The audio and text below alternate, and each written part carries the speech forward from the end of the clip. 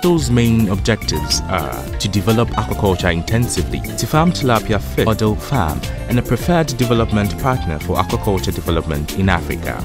To become one of the leading fish farms in Africa in five years. Mr. Evans Kojo Danso is the managing director of Flosell Limited. The main objective is to produce tilapia fingerlings to feed into the, the growing uh, tilapia industry because uh, as the industry is growing, the deficit in the protein requirement is growing. The, uh, there's also a big gap in uh, demand for farmed fish versus uh, actual supply, which is currently about half a million tons, uh, which translates into over 50 million fingerlings every year. Uh, there has to be uh, industries that will be able to provide these fingerlings that serve as seeds or input materials to this industry, and that's what Flosell is about.